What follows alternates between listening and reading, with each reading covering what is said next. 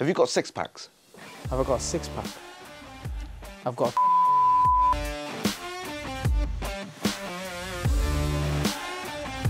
Welcome back to my channel where we will be discussing business, property, lifestyle and well-being.